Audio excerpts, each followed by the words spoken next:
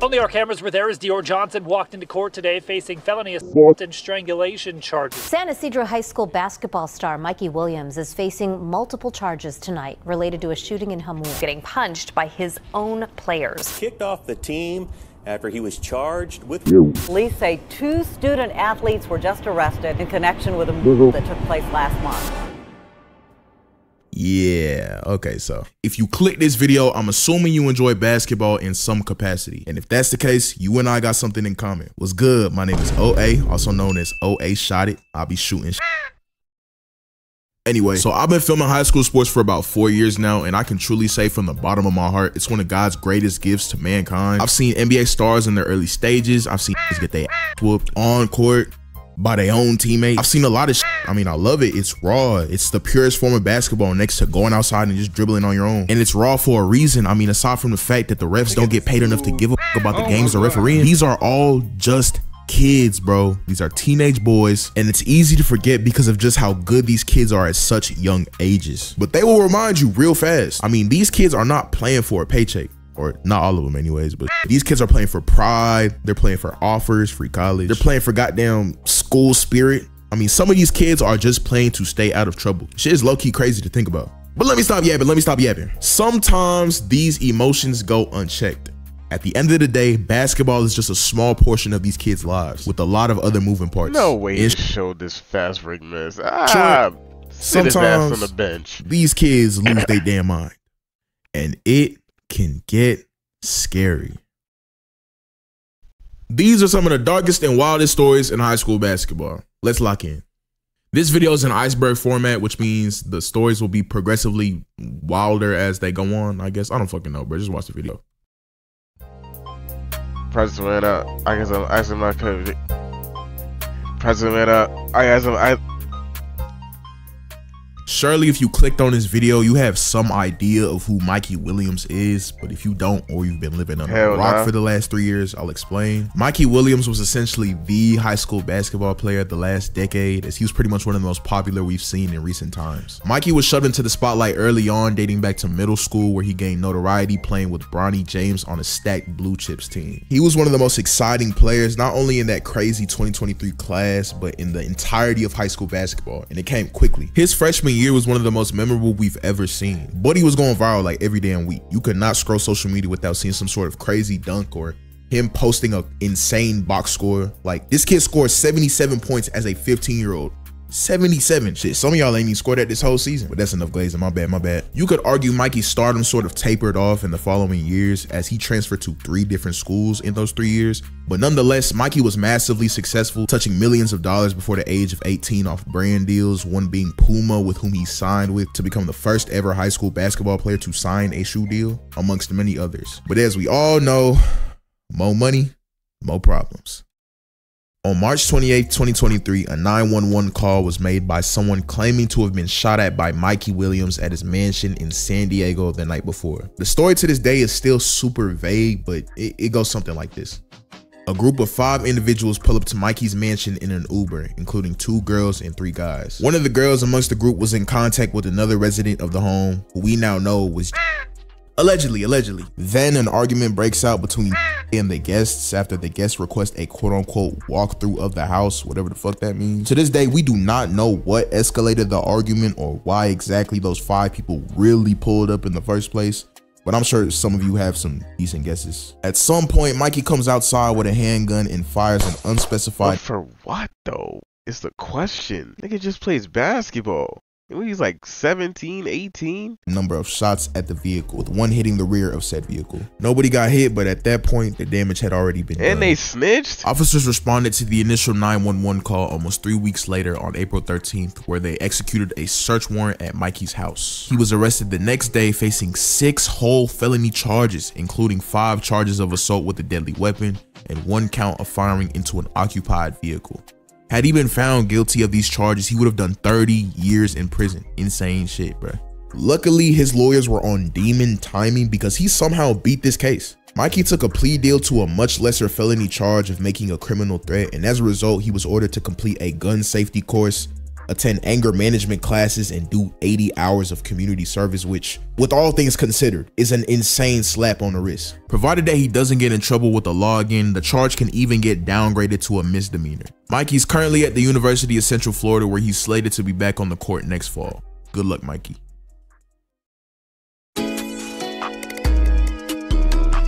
copyright is crazy, but I, I guess.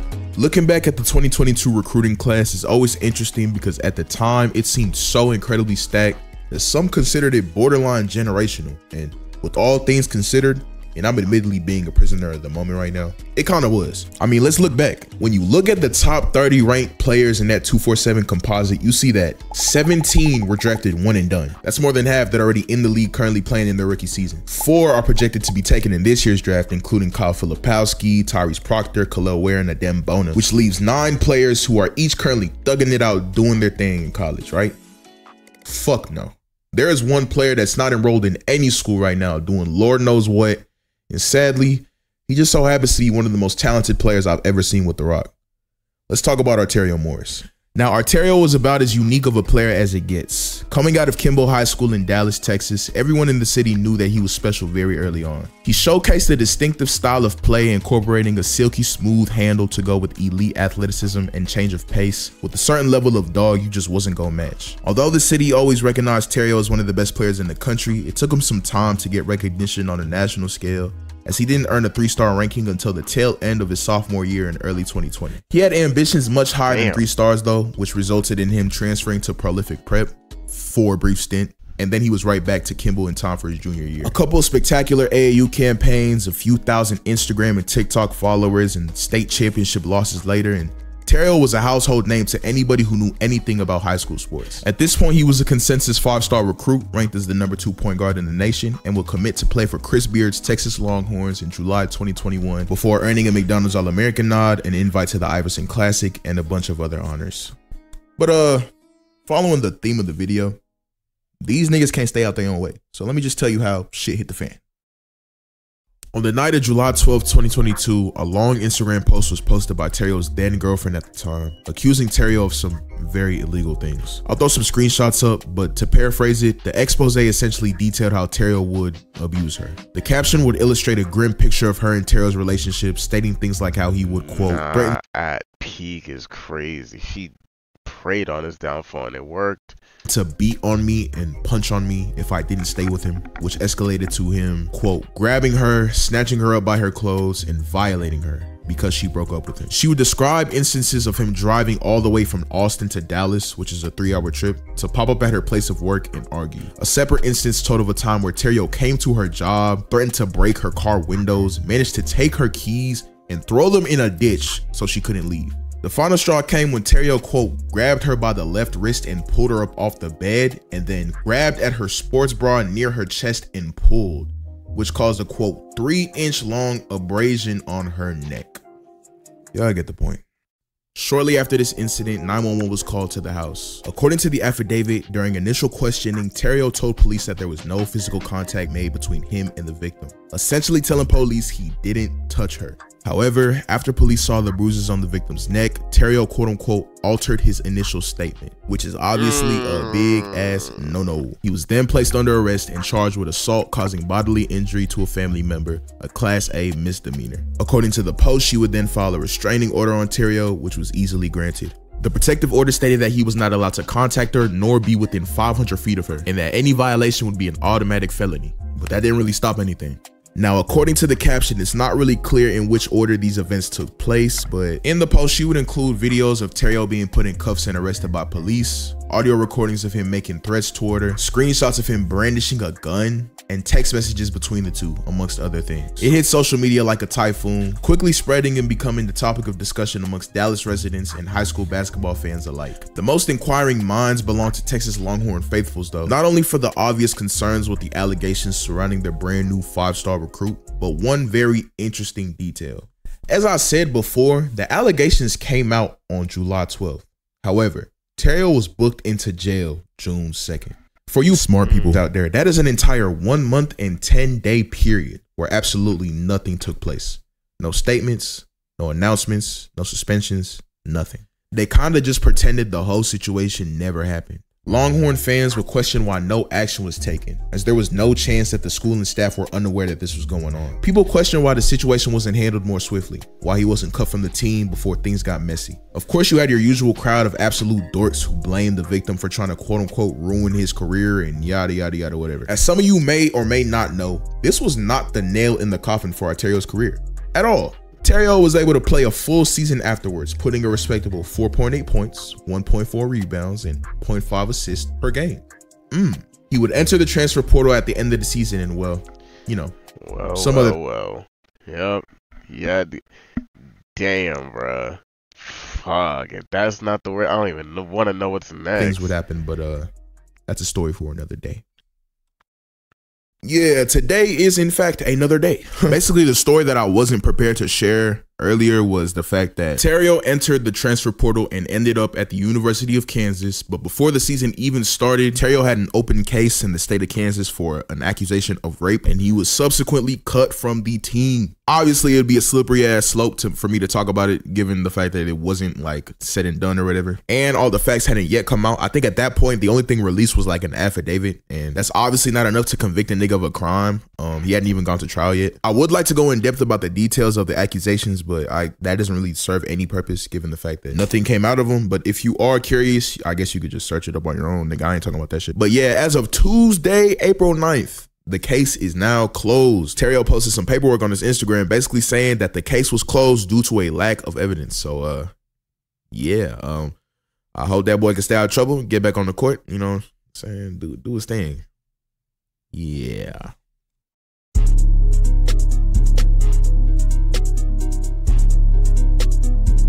Zach Brown.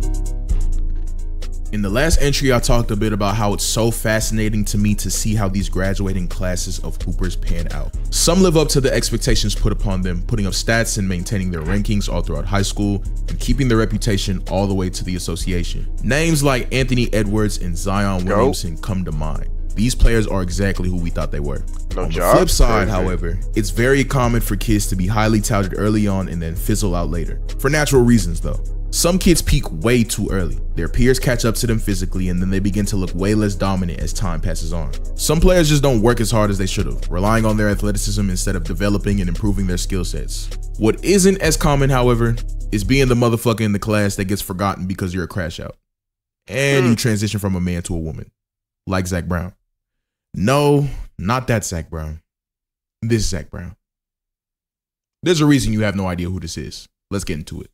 Zach Brown was a 7 foot 1 center in the 2017 class for Miami, Florida. Growing up, he was one of those kids that was always bigger than everybody around him. In fact, Zach was 6 foot 2 by the age of 10. It was never going to be anything but basketball for young Zach. But the path to the conventional hoop dream was a little more hectic than most. Now, believe me when I say he comes from extremely humble beginnings. Zach was the youngest of five boys, all taken care of by a single mother in the tough neighborhood of Overtown, one of the worst areas in Miami. I don't have to go into much detail about what goes down in Overtown, but just know the violent crime rate is about 127% higher than the national Golly. average. Hmm.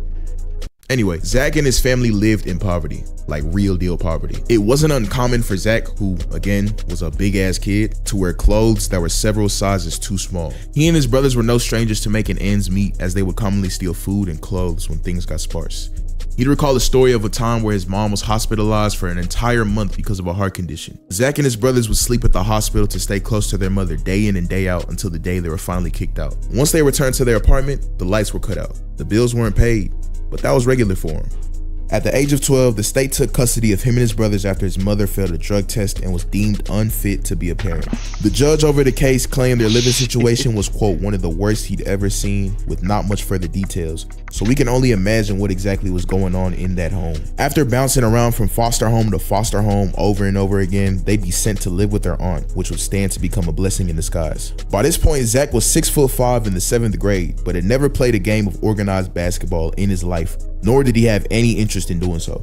It was only when his aunt's neighbors saw how physically imposing he was at such a young age, probably thinking to himself, why your big ass not playing basketball? And referred him to Michael Pretty Littman, much. the owner of a now defunct EYBL team called the South Beach All Stars, that his life would change for good. Littman would convince Zach to play for his team, but there was much work to be done as Zach was about as coordinated as a baby giraffe. But Zach showed work ethic and promise, and by the eighth grade, he'd already become one of the best prospects in the country. Life would change off the court too, as he would move in with Littman and become an adoptive member of the family. Although his new home, located in the tranquil upper class neighborhood of Cocoa Beach, was only 10 minutes away from his old home in Overtown, to Zach, it might as well have been a completely different side of the planet. Fast forward a little later, and Zach is a five-star recruit averaging 19 points, 17 rebounds, and 8 blocks per game, with offers from schools like Virginia, Miami, Kentucky, and UConn, the latter of which he would commit to later on. Mm-hmm. This is about as good as it would get for Zach, though, as the next year or so of his life would be the most tumultuous sequence of self-inflicted bullshit I've ever heard of in my life. Dude, the first had to be some. Nah, I'm not gonna assume. That sounds crazy. Assuming First domino fell in January 2016 when Zach transferred to Putnam Science Academy, a prep school. Yeah, my chair cook, bruh. Motherfucker won't stay.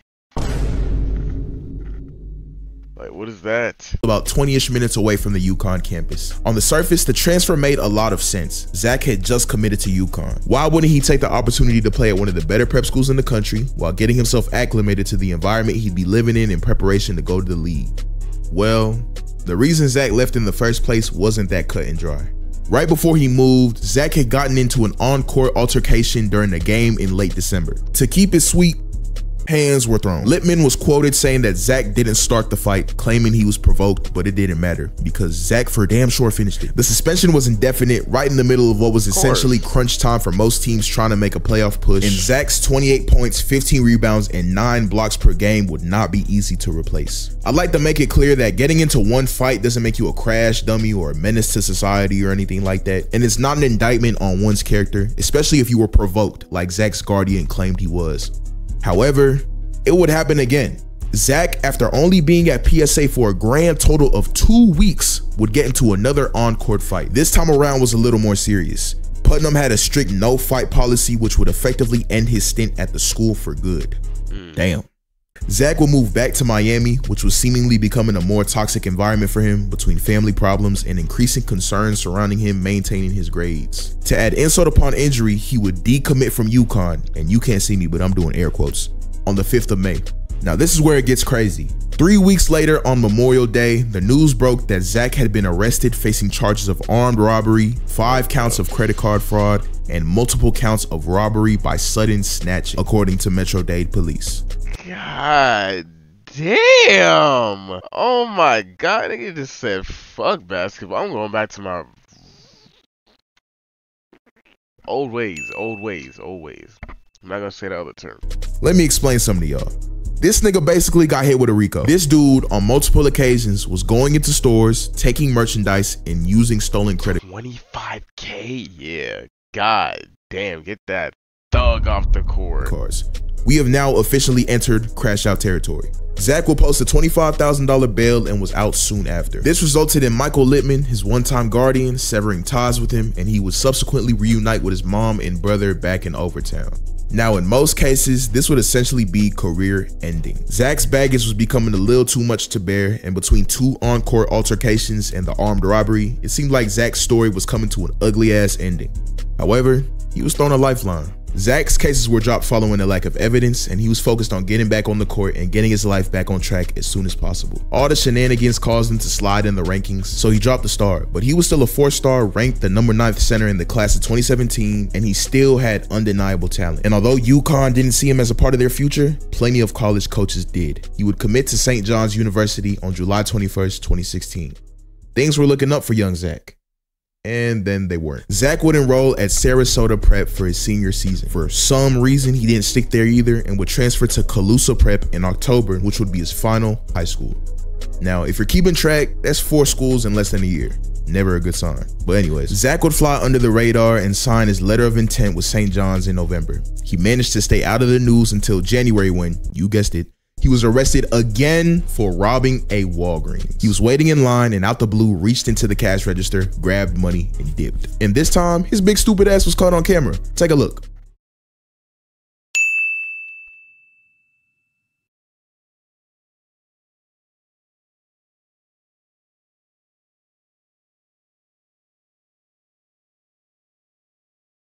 Really, nigga. This is such a nigga moment. Oh my gosh. He didn't even. It probably once, because I bet you them bills were sorted out. He probably took some ones. It was definitely not worth it. This is crash out level. Mm, I give him 27. Hmm. So obviously, there's a strong lack of discretion with Buddy. You know when you have an intrusive thought that comes and goes, and you think to yourself, "Damn, I'm tripping for thinking that," but that's all it is—an intrusive thought. Yeah, Zach's intrusive thoughts turn into action all the time. That little voice in your head that calms you down when you're about to make a decision that can create a bad consequence. I think Zach lacks it. Now I understand Zach had a very rough upbringing and a lack of decent parental figures. And I understand you're simply a product of your environment. But like, bruh, you seven feet tall trying to rob a Walgreens. You thought you was gonna get away with that shit? And let's be real. A Walgreens of all places, not even a Walmart or a Target. Man, if that wasn't wacky enough, Zach tried to do the race after making off with his little change. He tried to outrun the police. They would obviously catch up to him and arrest him, and in the process, police found out he was driving with a suspended license for unpaid parking tickets. At this point, the hoop dream was completely finished, as St. John's would release him from his NLI a little over a week later. Oh, you thought that was it? What DJ Khaled said. Another one. Zachariah Brown would be arrested one more time a month later. The Why, you ask? Failure to show up to court. And no, you're not bugging. Zach ha- Nigga showed up in disguise. He tried to fool them. has makeup on in this mugshot. There's also this video that went viral a couple years back that was confirmed to be him as well. Take a look.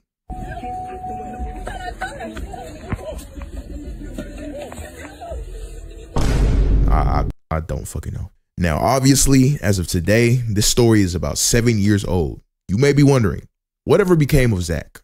Maybe he got his life together, got back on the court, and is playing basketball in some capacity. Hell Maybe somewhere in Puerto Rico or Uzbekistan or something.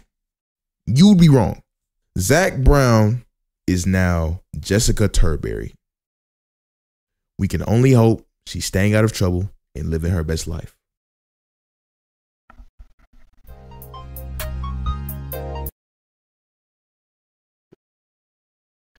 This nigga switched sides. Uh, good for hi- her. Good for her. I, I- I guess. Fuck, bro. Okay, I feel like I gotta preface this next story by saying um my tone is gonna be a little different. It might get a little silly. Uh and that's cause this nigga Where is just Dior an at? idiot fucking degenerate. But I like to make it very clear, like, ain't shit about this next one funny at all. I mean, it might be a little funny.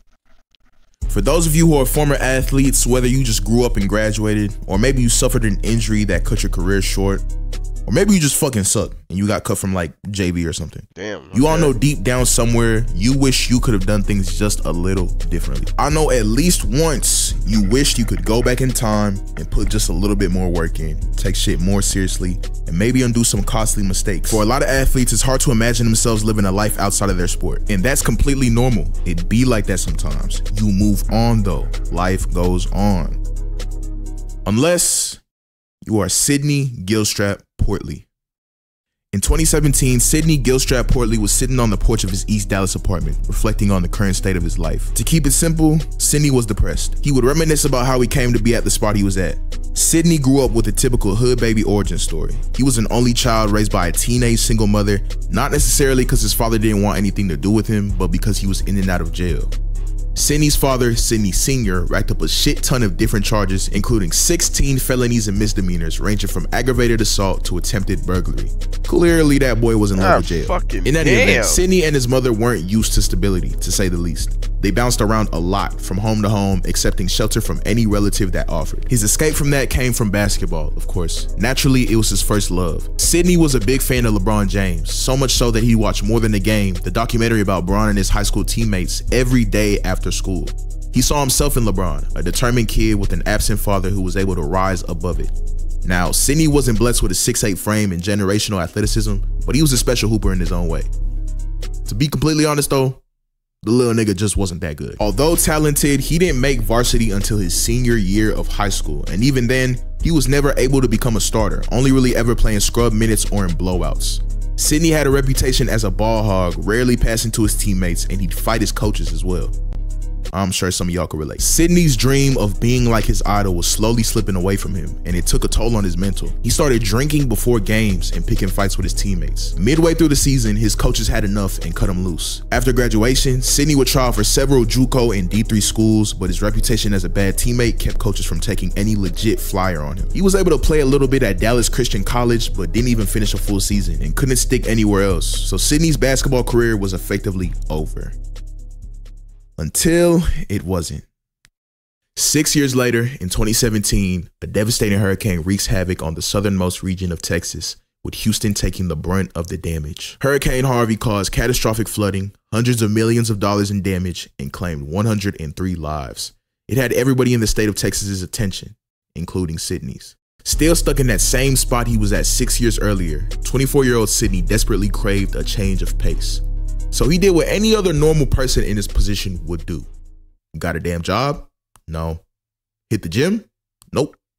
Went to church and prayed on it? The mosque? Hell nah.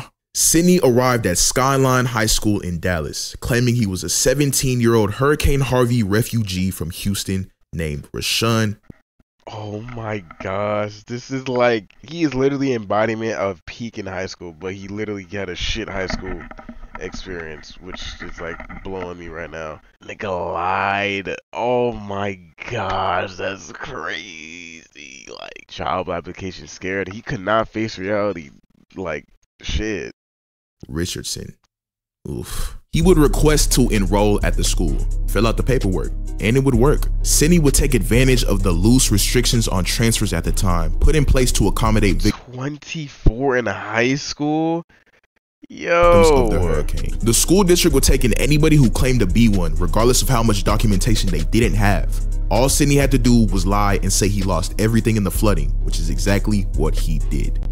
I'm gonna speed up the story now. Rashawn wouldn't stay at Skyline for long. He transferred to another school within the district, Hillcrest, which is where his legend would begin. It was at Hillcrest where Rashawn would quickly demonstrate just how much better he was at basketball than everybody else which again I'd like to emphasize was because he was seven years older than everybody. But anyways, standing at six foot one, Rashawn quickly became the go-to guy on the team as his teammates would gravitate towards him while he racked up big performance after big performance. He'd go out of state and play the number one team in the nation, scoring 40 points in three quarters, which added even more buzz to his name. 25-year-old Sidney was making quote unquote friends off the court too. He was basically Hillcrest High School's main character.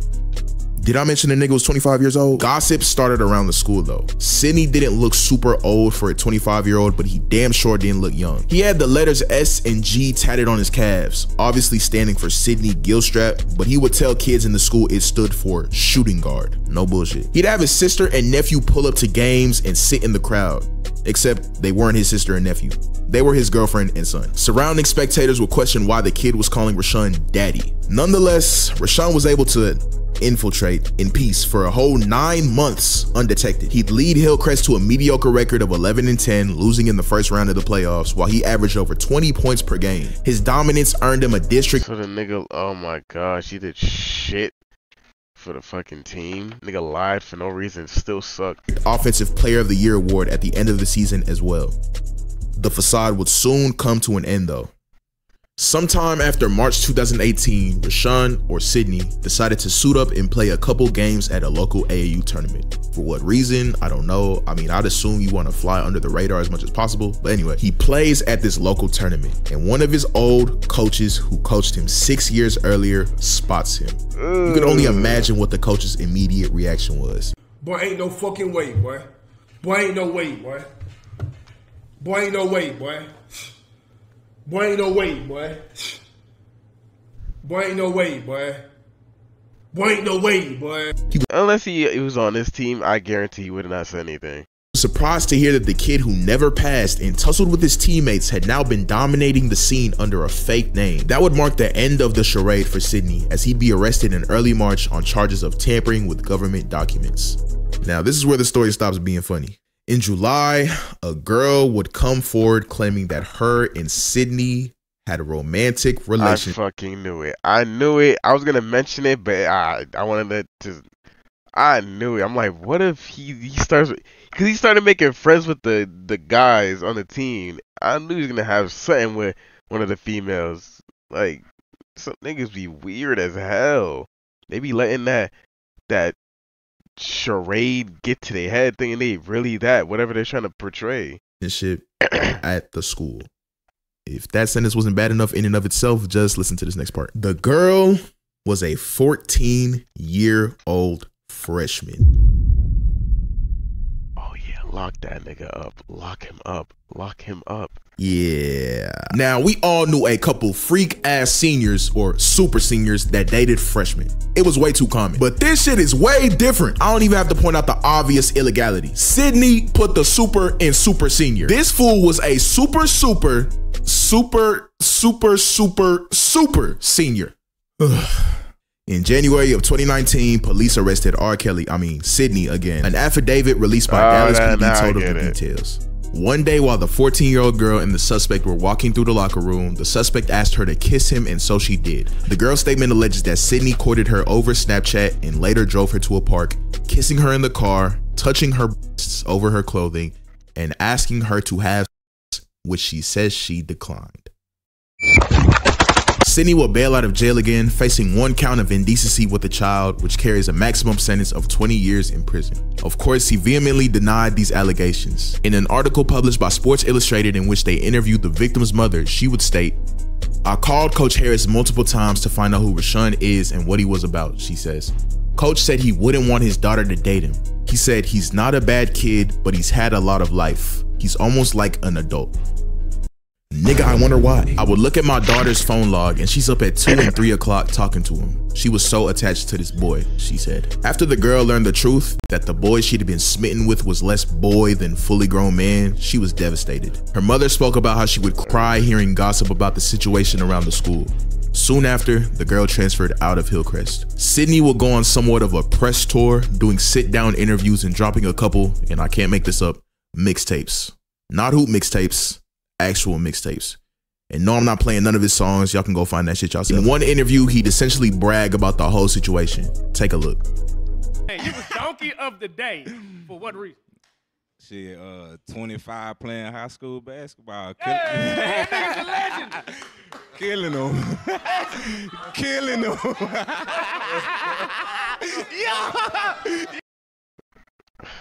God damn, that's like, oh my gosh, there's no way this is real. He bragging and niggas forgetting about that whole 14 year old. Nah, we ain't, we ain't forget that, buddy. Lame man. Sidney's shitty attempt at a rap career couldn't stop legal processes though. As on July 23rd, 2019, he was sentenced to six years probation. Yes, probation. For indecency with a child and five years probation for tampering with government documents. Common ill from our justice system. Moral of the story, there is no rewind button in life. Also, just don't diddle 14 year old kids. Yo, thank you so much for watching this. If you've made it to Oh, the what? end of this That's it. Where's Dior Johnson at? That's what I was waiting for.